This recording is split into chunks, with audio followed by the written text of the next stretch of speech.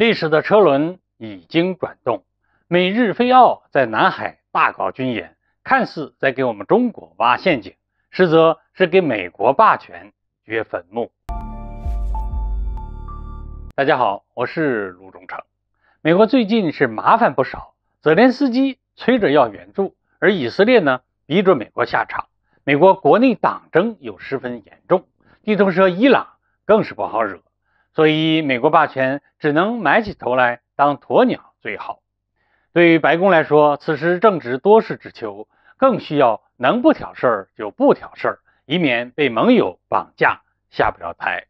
然而，不知是拜登年老糊涂，还是美国鹰派昏了头，耶伦还在广州示好着，美国就又在南海地区闹事儿了。事情是这样的，四月七号啊。美日澳菲四个国家枪炮上膛，在菲律宾巴拉望岛南海海域举行联合军演。此次可不是什么互相遥望敬礼、合个影象征性的军演，而是正式的开展反潜战演习。虽然军演规模并不算大，但是美日澳站台菲律宾的意味十分明显，而且还充满了算计。美国非常希望中国能像俄罗斯一样。掉进战争的泥潭，在拜登政府的视角中啊，台岛太小，也距离大陆太近，战端一开，美国基本没有介入的机会。而印度虽然自大，但是也不会蠢到越中国的红线。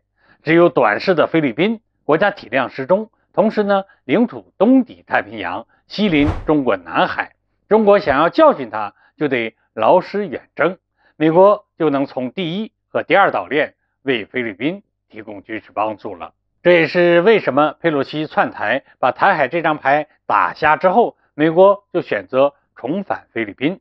此次带着日澳给菲律宾站台，也是告诉小马克思：中国水炮冲你，你别怂，把中国也拉下水，有美日澳三国给你兜底着呢。这个算计看似很高明，同时也是很糊涂、很愚蠢。我们前面提到，美国正值多事之秋。就拿近期美国财长耶伦访华来说，尽管可能什么都谈不拢，但是缓和关系的态度得有，否则俄罗斯进入战争状态了，中国也加速备战 S 三赛季，迟早得挑个不听话的打打屁股，到时候美国霸权的遮羞布可就真的保不住了。如今我们中国早就不吃美国大棒加糖果的那一套了，美国到处挑事埋火药桶。结果呢，就是到处树敌。现在战争机器全开的俄罗斯，还有中东浩浩荡荡的反以大军，已经够让美国喝一壶了。若是中国真的拿菲律宾杀鸡儆猴，那二十一世纪信息化的解放军打还没有完全步入冷战时代的菲律宾，简直就是三体人打原始人。届时，美国它是观望局势呢，还是通过军事援助给中国放血呢？不过这一切都完全是做梦。必须要说明的是啊，美国提前被卷入与大国的全面冲突，绝不是什么好事儿。中俄要建立新秩序，美西方要维护旧霸权秩序。因此，对于中俄来说，如果有名正言顺剪除霸权党羽的机会，那中俄肯定是不会放过的。而且，目前中东、东欧、南海局势其实正处于一个。非常微妙的平衡，美国咬咬牙，也许还能支撑两线作战，但是它绝对难以同时对付中俄伊铁三角。美国盼着中国跳入菲律宾的泥潭，伊朗和俄罗斯呢，也正在等待着中国秀出肌肉。